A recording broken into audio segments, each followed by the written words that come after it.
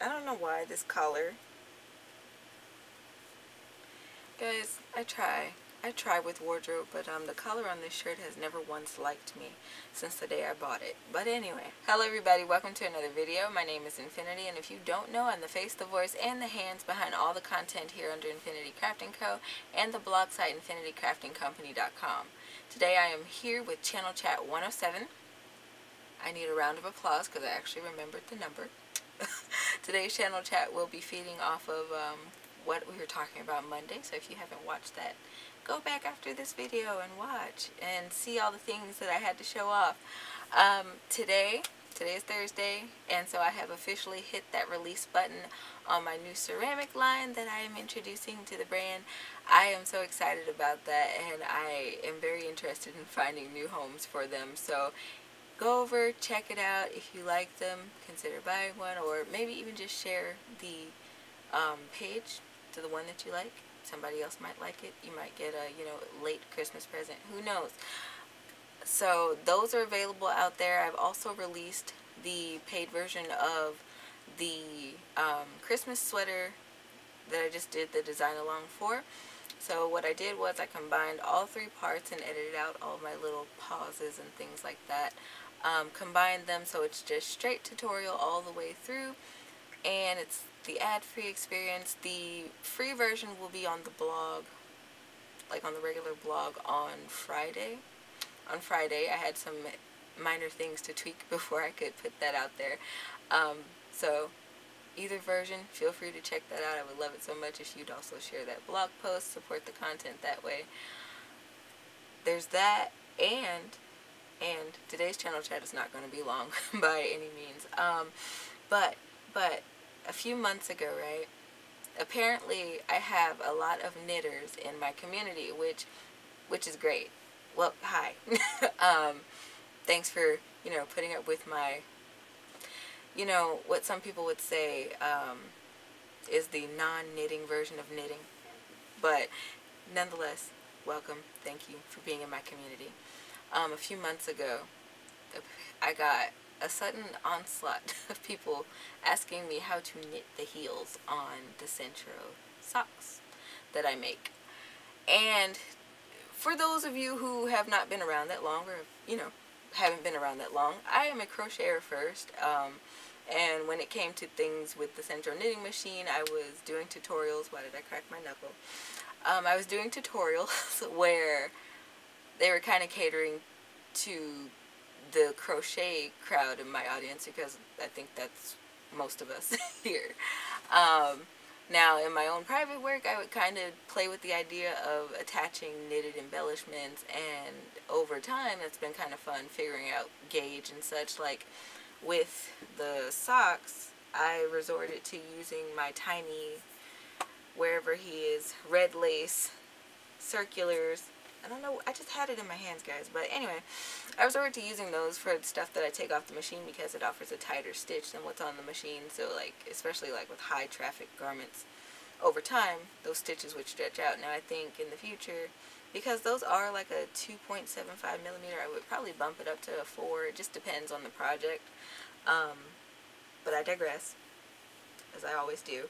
A few months ago, I was asked about the heels. And so me being me, you know, I set out to do the thing because I myself had been also wondering how to do that.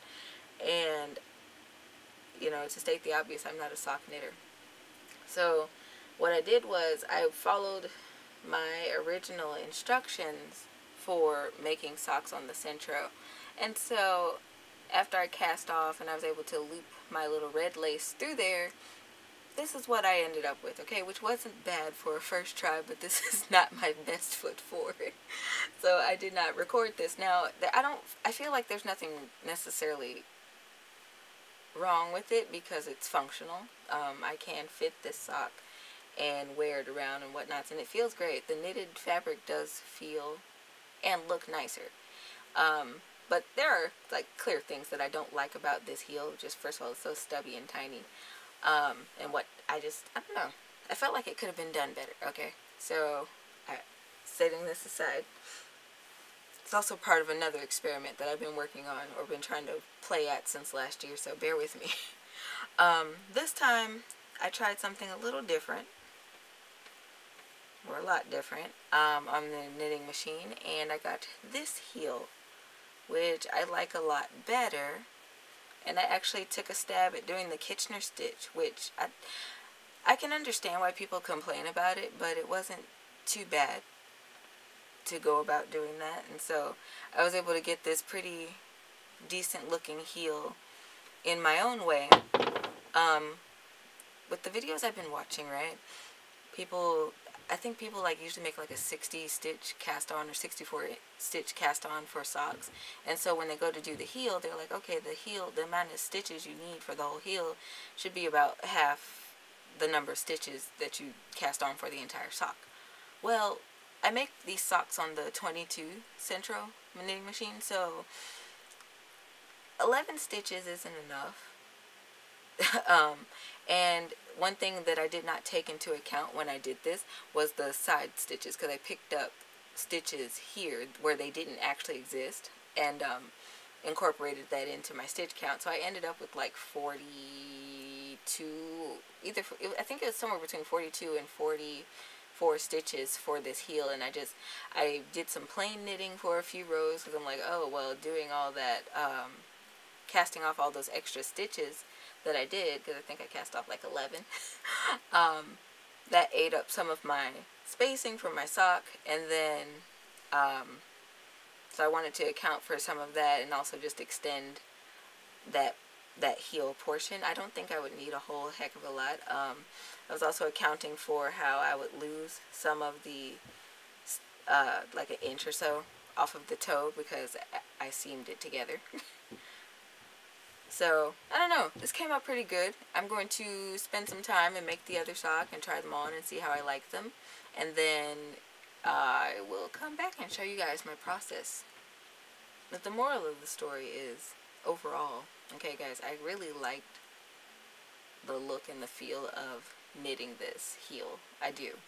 Um, I think it's just a practice makes perfect kind of thing. So, like I said, I'll be working on it over the next few weeks and whatnot because I, I do intend to take a tiny break um, to enjoy the new year and uh, prep a little bit for school and things like that. So bear with me. I'm coming back and I hopefully will be coming back strong on that end. But yeah, so that's what I wanted to talk about. My socks and my new product release. If you haven't seen those items yet, head over to Channel Chat 106 and I'll leave that probably linked at the end of this video and you can check that out and see what I have to offer.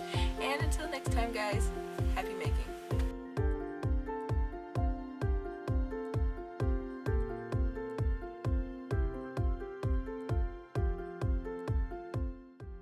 Alright, here is a weird awkward shot of this sock. Um, so, as you guys can see, it fits me very well. And this is what the heel looks like on the foot. I would have to say that next time I'll probably not weave in my ends as I go as I typically like to do because there are like some spots where I feel like I could have used that extra tail to sew in like at the corners of where the sock is. But overall get a side view. Overall I like how that looks around the foot and the heel. I think that's nice. So yeah there's a little sneak peek. Thanks for watching